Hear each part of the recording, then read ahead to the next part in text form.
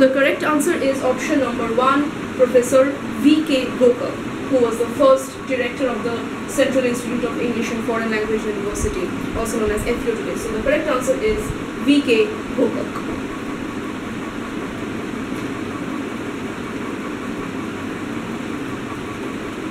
Question number 88.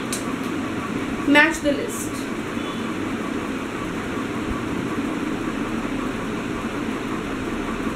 Match list 1 and list 2. Okay. So list 1 contains the names of some authors.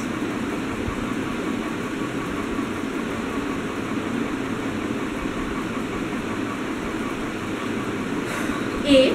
Thomas Pynchon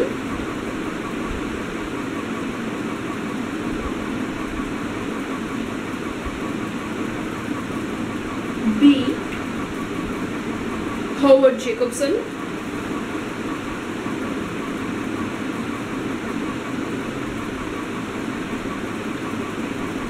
C.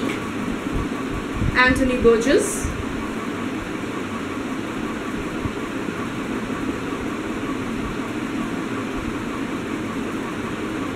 and D. John Berger.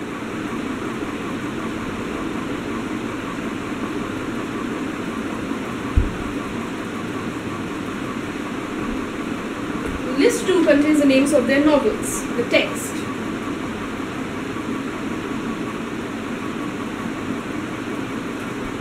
One G two V three J and four M slash F or M or F. So um, a little strange titles of the text, but these are pretty famous texts. Uh, all the texts are uh, named with either one or two, uh, just just one or two alphabets. so choose the correct answer.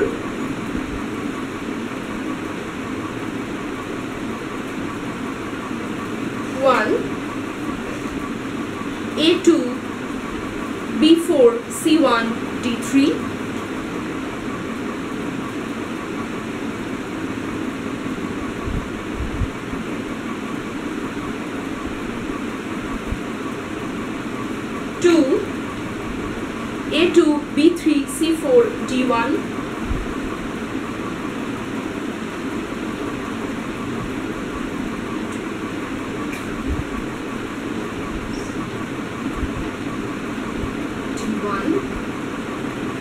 Number 3, A2, B3, C1, D4,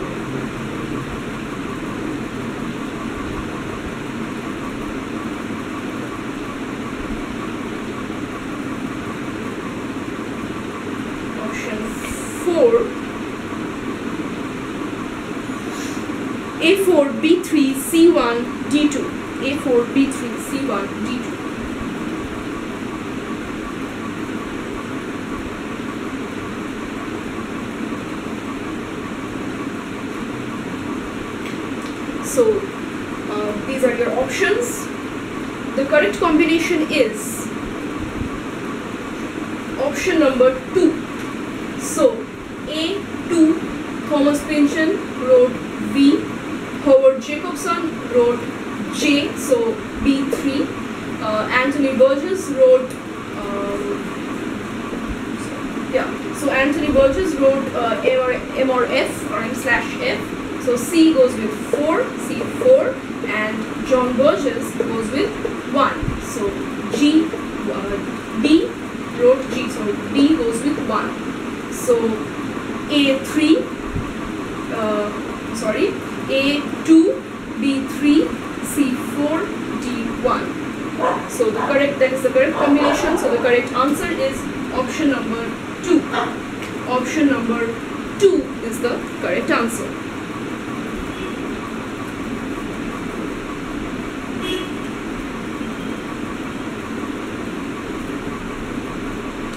Question number 98. I'm sorry, question number 89. 89. Again, match list 1 and list 2.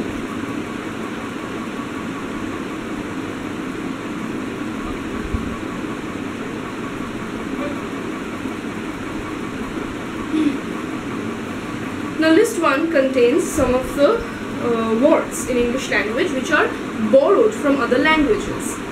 Uh, so list 1 contains words borrowed. A. Mongoose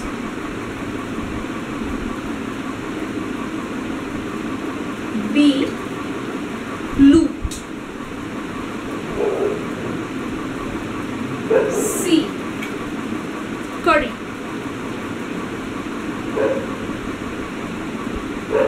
and D. Betel Betel like B-E-T-E-L betel List 2 contains the languages and these are words that are all, all, all the words are borrowed from Indian languages. So list 2 has source Indian language.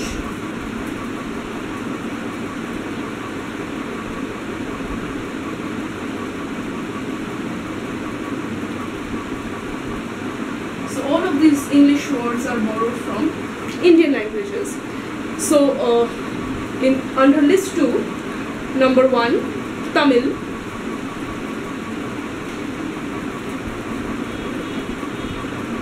Number two, Malayalam.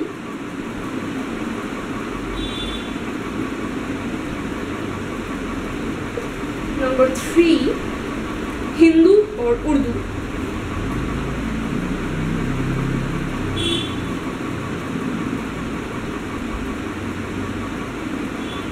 And number four Marathi.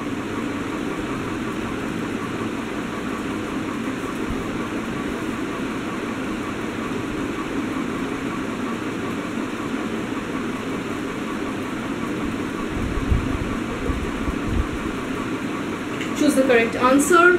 Number 1 A4, B3, C1, D2.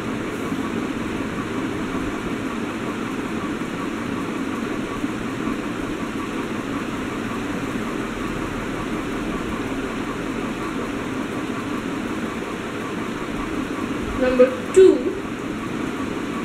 A4, B2, C1, D3.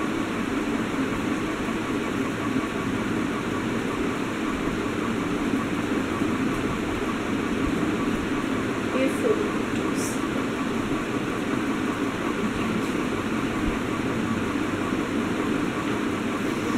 Number 3 A2, B3, C4, D1.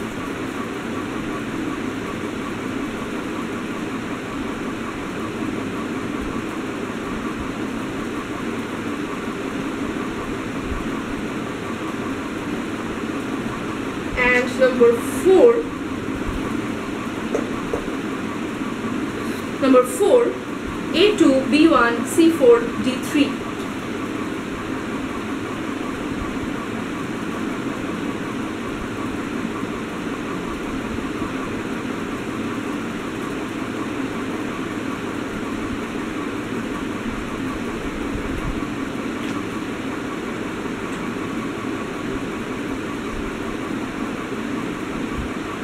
Right.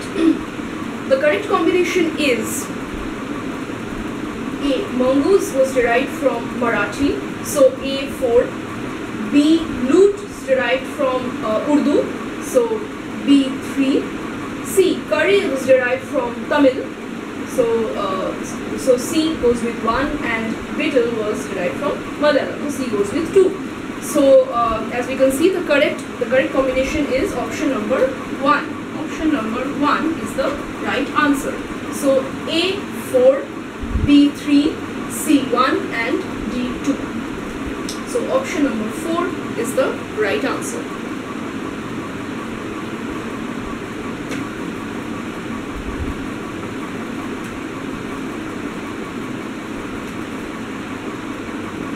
Question number 90.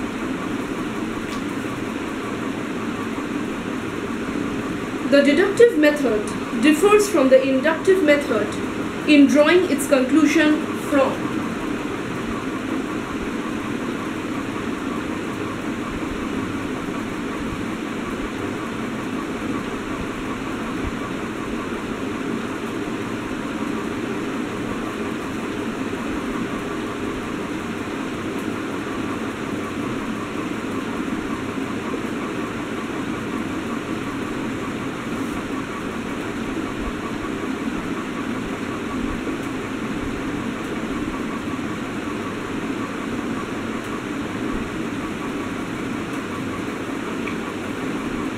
One, uh, verification.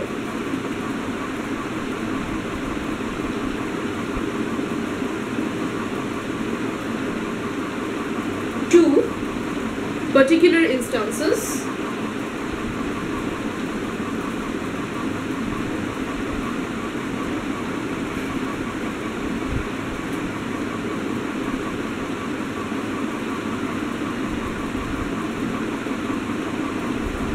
Three, applications.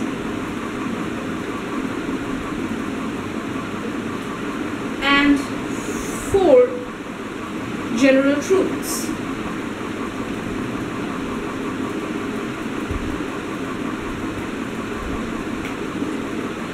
The correct answer is option number four, general truths.